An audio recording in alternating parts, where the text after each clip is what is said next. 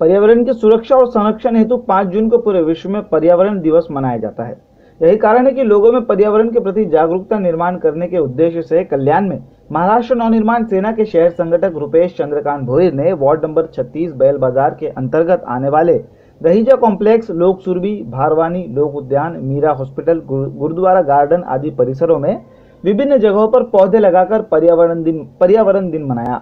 आज के दूषित वातावरण के चलते हमारे पर्यावरण का संतुलन बिगड़ता जा रहा है। इसलिए वृक्ष लगाकर लोगों को पर्यावरण के प्रति जागरूक करना हमारा उद्देश्य है ऐसा रुपेश भोईर ने बताया। इस मौके पर R S R S P Manilal Shimpi Narayan hall के संचालक दिनेश ठक्कर कच्छ युवक संघ के तरुण नागड़ा रोटीडे ग्रुप के नितिन चांदिया सहित वार्ड नंबर 36 के स्थानिक नागरिक उपस्थित थे। आज पर्यावरण दिवस के शुभ अवसर पे यहाँ पे श्री रुपेश चंद्रकांत भूर जी के माध्यम से यहाँ पे लोग वृक्षारोपण कर रहे हैं। मैं आपको बताना चाहूँगा कि एक वृक्ष का मतलब होता है सौ इंसान। तो हमें एक मुहिम चलानी है हर एक इंसान को सौ पेड़ लगाना है। इंसान मिट्टी से जुड़ा होता है और मिट्टी में ही जाना है। प्लीज़ अप्रिशिएट कीजिए और इनका साथ दीजिए। थैंक यू जो पर्यावरण दिवसानिमित्त आपले अ, रुपेश भोईर यांनी जो कार्यक्रम आयोजित केला तो खरंच खूप उल्लेख याच्यासाठी अभिमानास्पद आहे.